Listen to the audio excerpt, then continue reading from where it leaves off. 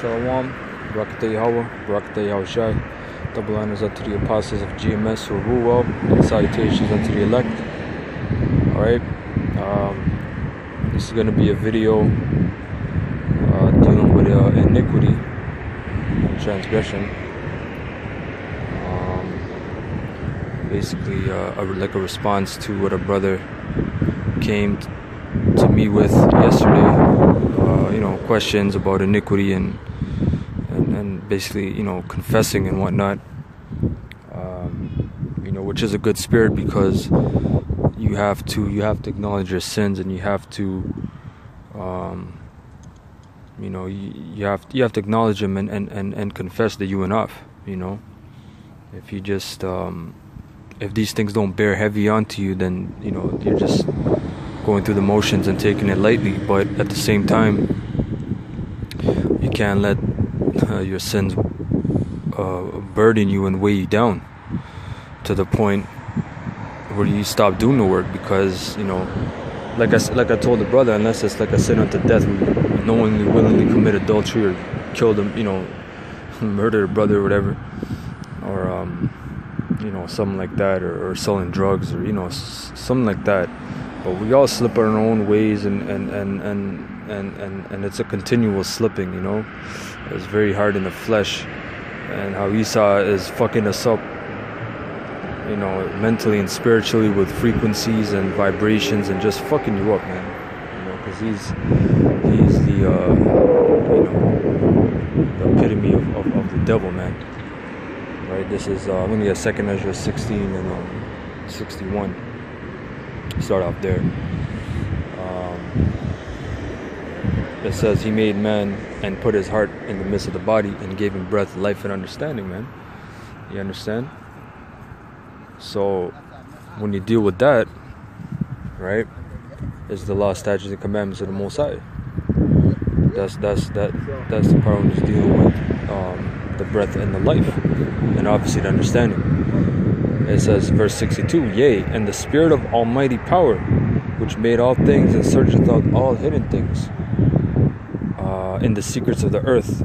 Surely he knoweth your inventions and what you think in your hearts or your minds. Even them that sin and would hide their sin. That's the point. You don't hide your sin uh, uh, you know from yourself. You know just oh just tuck it away under the carpet. No you you confess it and you pray to Yahweh Hashem Yahushua You to Yahweh. You put all on the table, man. Um, and your own sins shall be your accusers in that day. Slack it, my bad.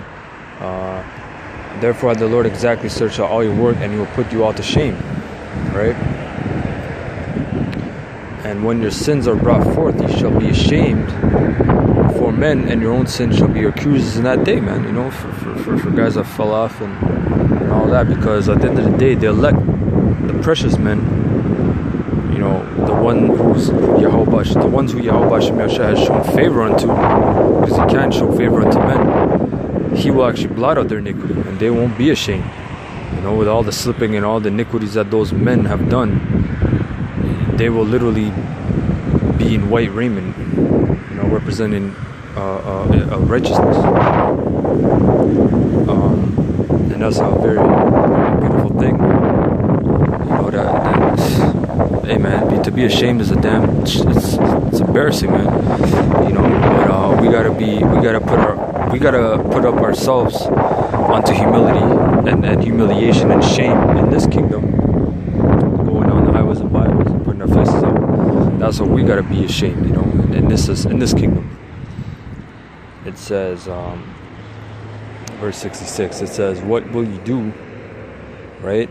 Or how will you hide your sins before the Most High and His angels, man? Because they, they, you can't, you can't do none of that, man. Those spiritual entities. Yo, the Most High Himself is the judge. Fear Him. Leave off from your sins and forget your iniquities. You see, so so don't have a rear view mirror. You know, don't look in your rear view mirror, as they say. You know, just just just press toward the mark you you know you sinned you you you, you repent man you atone you know that's why I love the day of atonement that's a beautiful holiday high holiday man uh, you just look at yourself you know you, you introspectively and you just look, you know, inside, man, and just beg Yahweh Shem Yashai to blot out your iniquity. To meddle no more with them forever, so shall the Most High lead you forth and deliver you from all trouble. See that? Because it tells you in Job, he shall save you from the scourge of the tongue, man. It says, um, For behold, the burning wrath of a great multitude is kindled over you, and they shall take away certain of you and feed you, being idle with things offered unto idols. And they that consent unto them shall be had in derision and reproach and trodden underfoot. Right? And, and this is going into the martial law and, and, and, and things that are coming to the society. So that's why we have to leave off from our iniquities, man. You know? Um, trying to find another.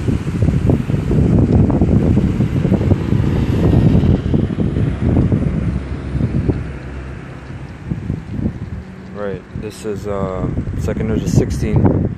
Oh, Slack your head. It's a little up. So I'm gonna read up, read up, read, read where I was reading anyway. For there shall be in every place verse 70, and in the next cities a great insurrection upon those that fear the Lord. Uh, they shall be like madmen, sparing none, but shall, but still spoiling and destroying those that fear the Lord. You know. They shall be like madmen, spare none, but still spoiling and destroying those that fear the Lord. For they shall waste and take away their goods,